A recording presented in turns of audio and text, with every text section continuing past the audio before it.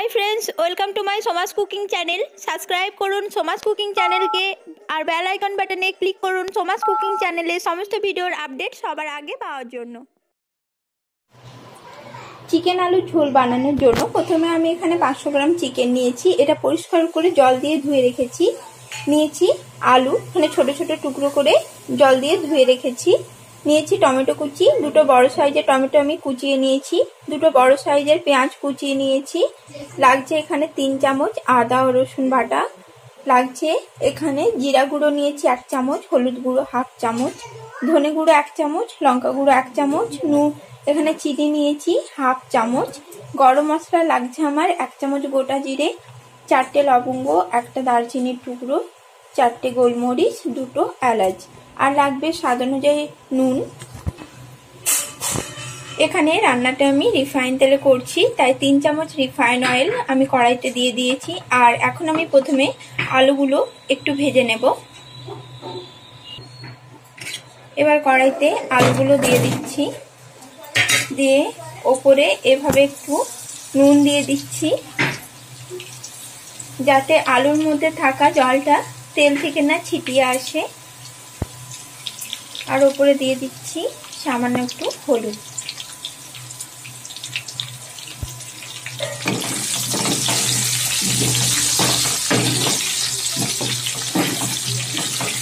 এখন এই আলুগুলোকে আমি ভালোভাবে হালকা একটু গোল্ডেন ব্রাউন কালার করে ভেজে নেব।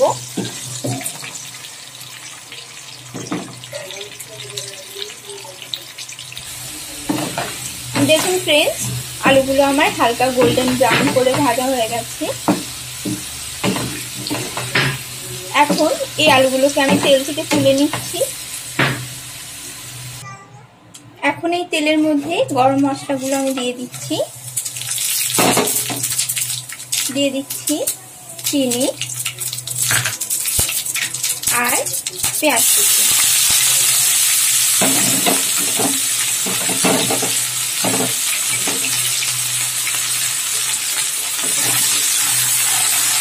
এই সমস্ত উপকরণগুলোকে আমি মিডিয়াম আছে হালকা ব্রাউন কালার করে ভেজে নেব। আঁচটা খুব বেশি দেওয়া যাবে না, তাহলে কিন্তু পুড়ে যেতে পারে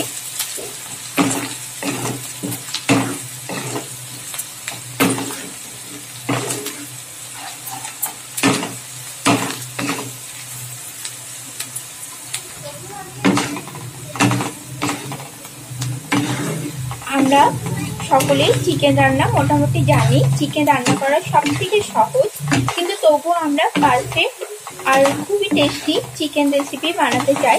আপনারা যদি আমার এই রেসিপিটা ফলো করে এই একইভাবে চিকেনটা রান্না করেন, তাহলে আপনাদের চিকেনটাও খুবই টেস্টি হবে। আমি এখানে আলু দিয়েছি, অর্থাৎ চিকেনটা আমি আলু দিয়ে তৈরি করছি। আপনারা যদি চান আলু নাও দিতে পারেন, তবে বাড়িতে বাচ্চা থাকলে চিকেনে আলু দিতেই হয়, সেক্ষেত্রেই আমি আলুটা ব্যবহার করেছি। পেঁয়াজটা আমার প্রায় ভাজা হয়ে এসেছে। আমি এখানে যে চিনি ব্যবহার করেছি, তাতে করে তরকারির অর্থাৎ চিকেনের কালারটা খুব ভালো আসে। দেখতেও ভালো লাগে। তবে আপনারা যদি না চান, তাহলে নাও দিতে পারেন। ওটা চিনিটা অ্যাভয়েড করতে পারেন। এখন এর মধ্যে আমি দিয়ে দিচ্ছি আদা ও রসুনের পেস্ট।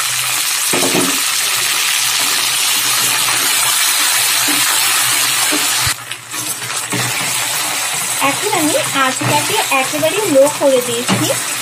আর এইভাবে এই লো আঁচে রেখে আমি এক মিনিট মতো আদা ও রসুনের পেস্টটা ভালোভাবে ভেজে নেব, যাতে আদা ও রসুনের কাঁচা গন্ধটা একেবারে না থাকে। আঁচটা বাড়ালে কিন্তু আদা ও রসুনের পেস্ট এটা কড়াইতে লেগে যেতে পারে বা পুড়ে যেতে পারে, সেক্ষেত্রে তরকারির স্বাদটা কিন্তু নষ্ট হয়ে যাবে।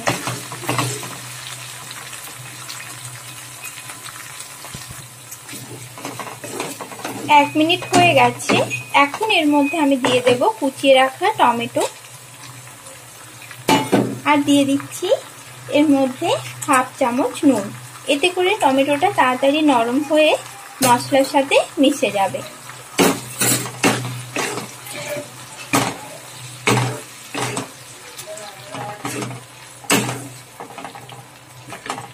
এখন একে একে বাকি গুঁড়ো মশলাগুলো আমি দিয়ে দিচ্ছি। জিরা গুঁড়ো, লঙ্কা গুঁড়ো, ধনে গুঁড়ো আর হলুদ গুঁড়ো। আর দিয়ে দেব আমি হাফ কাপ মতো জল। আর আঁচটাকে এখন আমি মিডিয়াম টু লোয়ে রেখে খুব ভালোভাবে মশলাটা কষিয়ে নেব। মশলা কষানোর উপরেই ডিপেন্ড করে আপনার রান্নার স্বাদটা কেমন হবে। তাড়াহুড়ো করে আঁচটা বাড়িয়ে দিয়ে কষানো যাবে না।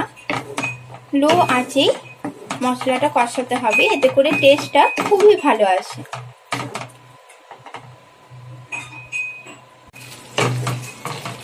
দেখুন, মশলার কালারটা কত সুন্দর এসেছে। আর মশলাটি কষার সময় এইভাবেই কন্টিনিউ নাড়তে থাকতে হবে। যাতে কোনোভাবে তলায় লেগে না যায়।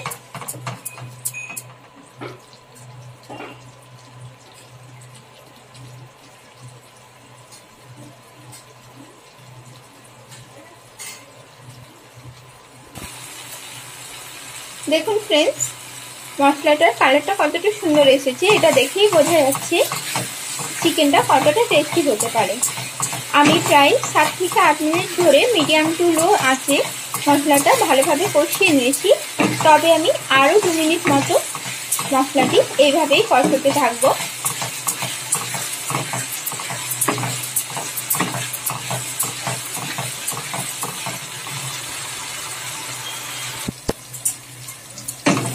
আরও দু মিনিট হয়ে গেছে। দেখুন আমার মাংসের জন্য যে মশলাটাও খুব ভালোভাবে কষা হয়ে গেছে। এখন এর মধ্যে আমি ভেজে রাখা আলু আর চিকেনটা দিয়ে দিচ্ছি।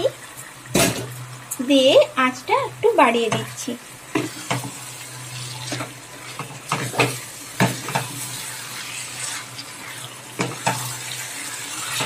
আমি কিন্তু এখন কোনো রকম ভাবে কোনো জল দেব না মাংসে।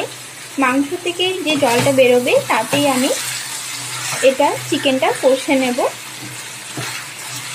দিয়ে দিচ্ছি নুন। নুনটা অবশ্যই নিজেদের স্বাদ অনুযায়ী নেবেন।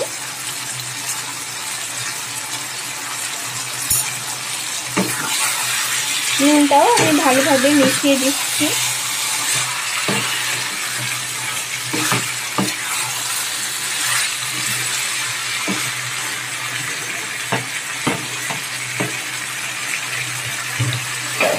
এখন আমি আঁচটাকে আবার মিডিয়াম টু লোয়ে করে ঢেকে দিচ্ছি। এটা চিকেনটাকে দু থেকে তিন মিনিটের জন্য, যাতে চিকেনের মধ্যে থাকা জলটা ভালোভাবে বেরিয়ে যায়। তিন মিনিট হয়ে গেছে, ঢাকাটা এখন আমি খুলে নিচ্ছি। দেখুন চিকেনটা থেকে জল বেরিয়েছে।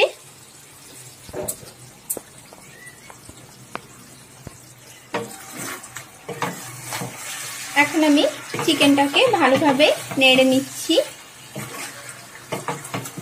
নেড়ে একই রকম ভাবে আঁচটা লো করে দিয়ে আমি ঠিক এটাকে পাঁচ থেকে সাত মিনিট কষিয়ে নেব ঢাকা দিয়ে দিয়ে। দু মিনিট ছাড়া ছাড়া ঢাকাটা খুলে নাড়তে হবে, যেহেতু আমি এখানে কোনো রকম ভাবে জলের ব্যবহার করিনি। জল দিলে কিন্তু চিকেনের যে টেস্টটা সেটা নষ্ট হয়ে যাবে। একটু জল জল ভাব লাগবে। তাই আমি এখানে কোনো রকম জল দিচ্ছি না। জল ছাড়াই মাংসটা সুন্দরভাবে কষিয়ে নেব। তার জন্য দু মিনিট ছাড়া ছাড়া ঢাকাটা খুলে নেড়ে নিতে হবে। নাহলে কিন্তু লেগে যেতে পারে। আমি সাত থেকে আট মিনিট ধরে খুব ভালোভাবে চিকেনটাকে কষিয়ে নিয়েছি। দেখতে পাচ্ছেন? দেখুন, সুন্দর কষানো হয়েছে। আপনারা যদি মাংসটা এইভাবে কষায় রাখতে চান, তাহলে এইভাবেই রাখতে পারেন বা অল্প একটু এক কাপ মতো জল দিয়ে ফুটিয়ে নিতে পারেন। কিন্তু আমি এখানে আগেই বলেছি, আমি চিকেন আলুর ঝোল রান্না করছি, তাই এখন আমি এখানে জল অ্যাড করব। আমি এখন এখানে দু গ্লাস মতো জল অ্যাড করছি।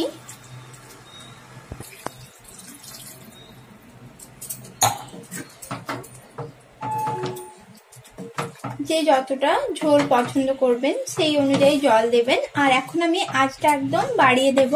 চিকেন সেদ্ধ হতে বেশি সময় লাগে না, যেহেতু আমি সাত থেকে আট মিনিট ধরে খুব ভালোভাবে কষিয়ে নিয়েছি। তাই এখন আমি আঁচটা বাড়িয়ে এটা দশ মিনিট মতো ফুটতে দেব। তাহলেই তৈরি হয়ে যাবে আমার চিকেন আলুর ঝোল। এখন কিন্তু আমি আর কোনো রকম ভাবে ঢাকা দেব না। আর এখানে দেখুন, আমি একটা দারুচিনির টুকরো, দুটো এলাচ চারটে লবঙ্গ আর তিনটে গোলমরিচ বেটে নিয়েছি। আমি গুঁড়ো গরম মশলা এখানে দিইনি। আপনারা চাইলে গুঁড়ো, যে প্যাকেটে গরম মশলা গুঁড়ো পাওয়া যায় সেটাও দিতে পারেন। তবে বেটে দিলে এর গন্ধটা আরও বেশি ভালো হয়। ফিরে আসছি দশ মিনিট পর।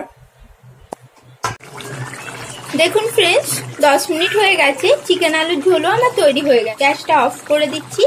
আশা করি রেসিপিটা আপনাদের ভালো লেগেছে। আমার এই রেসিপিটা আপনাদের ভালো লেগে থাকলে অবশ্যই লাইক শেয়ার আর কমেন্ট করবেন। পরের দিন দেখা হবে আবার একটা নতুন রেসিপির সাথে। ততক্ষণ ভালো থাকবেন বন্ধুরা। নমস্কার।